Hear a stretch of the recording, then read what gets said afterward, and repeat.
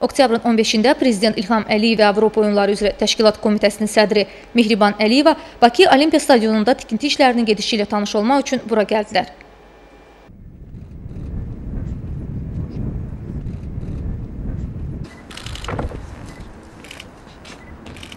Dövlət başçısı və xanımı ayrı-ayrı inşaat sahələrini gəzdilər. Görülən işlərlə yerindəcə tanış oldular. Ölkəmizdə idmana göstərilən yüksək dövlət qayğısı nəticəsində digər sahələrdə olduğu kimi son illər bu sahədə də sürətli inkişafa nail olunub. Artıq Azərbaycan dünyada idman ölkəsi kimi tanınmağa başlayıb. Birinci Avropa oyunları kimi mötəbər idman tədbirinin ölkəmizdə keçirilməsi ilə bağlı qərarın qəbul edilməsi bunun daha bir əyani göstəricisidir.